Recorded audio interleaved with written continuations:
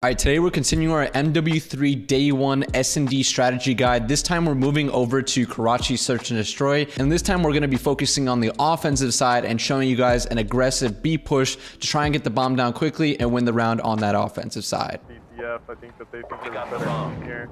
And you gotta love their attitude going into this match, staying confident. So right now they have a 1-0 lead in Search and Destroy. It looks like Xtravagant taking a very heavy B push Counter-Strike style right now, pushing the whole team one way. It looks like it's wide open for them right now, but oh, JCap picked up a quick kill on Kaz, so looks like they're playing that bomb, Fliz.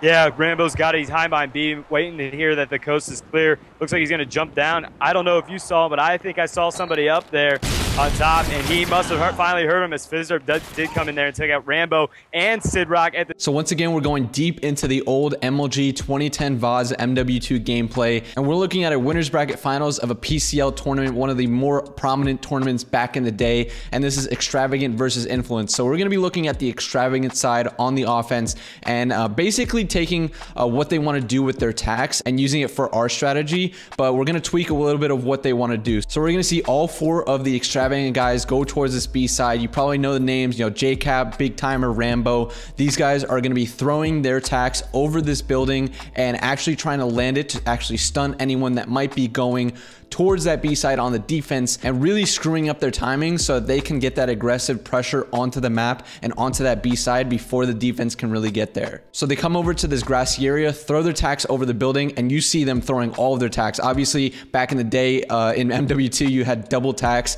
uh, for free basically, so you could just throw your tacs and really abuse those. But again, for MW3, we're only gonna have that one stun, but you're still gonna be able to really abuse it with the timings uh, that you're gonna be able to get because if you can cut them off with that stun or at least get that info that they're there, you're still going to get that pressure onto the site before them and, and try and get that bomb down and eventually uh, work your way into a post plant setup. So as you can see, they're to go through this jail building. That's what they called it back in the day. Go onto this B side. I think there should be two people going towards this site and the first person that doesn't have the bomb should be going towards this diner and really working that initial post plant setup. And then the guy who has the bomb works the bomb and then the other two guys are to be going towards uh, the broken, you know, stairs building and working that way so that they can test anyone on the defense trying to get a different angle, you know, on the balcony towards that site. So as you can see here, JCap gets the first blood. Ray is trying to work this back diner side in case anyone was hiding back here. But the thing is he has the bomb. So he probably wants someone without the bomb clearing that out first in case, you know, he does die. The bomb isn't trapped all the way in the back of the diner.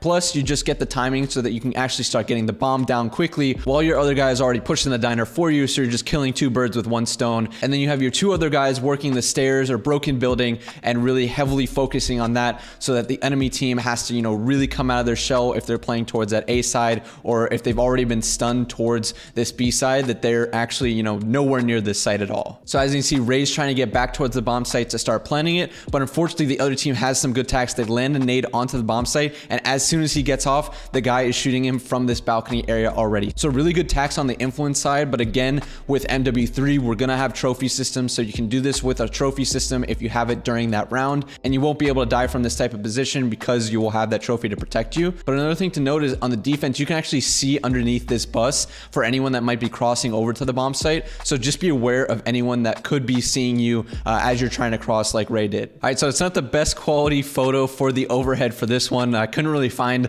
any other better photo uh, because, you know, this was back in the day and you're just relying on anything that the game gave you. So we're to make work with what we got. Uh, so you have the offensive spawn over here, the defensive spawn over here. And what we're to be doing is trying to contest towards this B side. This is where the bomb site is. This was where that diner area was that Ray was pushing around. And then you have your, you know, your broken stair area building over here. This is what you're going to be wanting to contesting as an offensive side. So you don't have anyone on the defense playing this balcony and shooting you off bomb while you're trying to get it planted. So I'll take you through the routes they were taking off spawn. Obviously on the offensive side, you go to the right here, go to this grassy area, start throwing your tacs within this area so that they can land over here. The big thing with your tacs here is to maintain control over this cut right here because this is where the defense, as they're spawning, they're going to be trying to rush towards this B side if they're trying to contest it, and they're going to be hit with the stuns as soon as they get over here. So making sure that you at least get them stunned so that they have a delayed push towards the B side, or at least get that info so you know that one or two are there. So in case they, you know, start pushing underneath over here or start pushing towards the diner,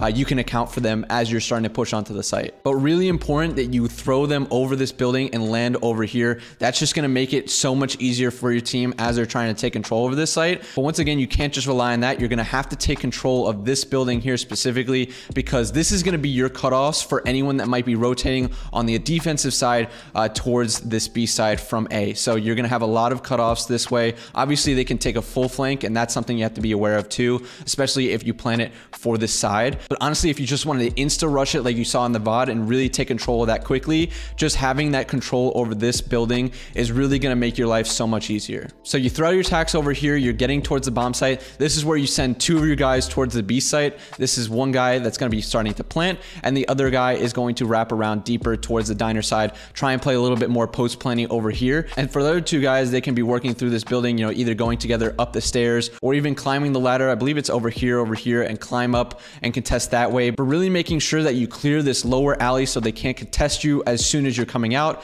and that they're not on top of this balcony and can shoot you off bomb like I was talking about before. So if you covered this, you know, stairs, broken building while you're getting the bomb down, as well as being able to actually wrap around here, if you can get like a quick pick on anyone that might have been, you know, playing super ratty, trying to look under the bus for this cross on anyone that might be going towards bomb, first off, you know, try and plan it more towards the outer side of the map, just so they can't see you, you know, while you're planning, you know, hopefully that's a thing in MW3. We'll see how the bomb placement it actually is, or whether you can even still see under the bus, because they have been changing a few different things uh, across the maps uh, going into this MW3 season and uh, you know just really making sure that you cover this lane with anyone that might be flanking around diner and covering underneath here and through this building. If you can maintain control of those as soon as you're instantly rushing towards this bomb site, get the bomb planted, it should be a really free offense for you and you can just play a really nice post plant from these positions. Now with post plant, if you have control over this building, once again, you can see bomb if you're in this lower hallway. You can see bomb if you're on top of this balcony. You can even see bomb if you know you're outside here, you're watching the flank and you need to go and turn towards bomb in case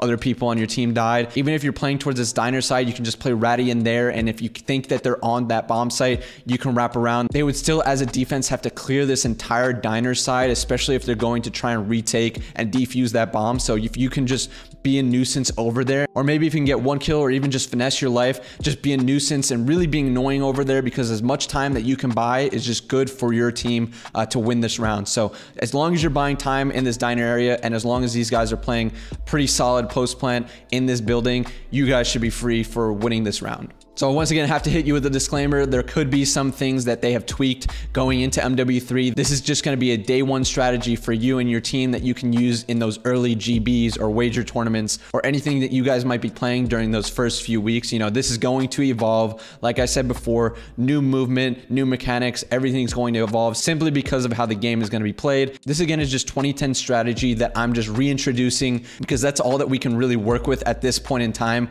uh, without the full game coming out. So just giving you guys some advice here and making sure that you can try and utilize something going into those first few weeks. So thank you guys for making it to the end of the video. I hope you guys enjoyed this one. Hope you guys can utilize this specific B-sided full-on team rush uh, on offense on Karachi, and I'll see you guys in the next video.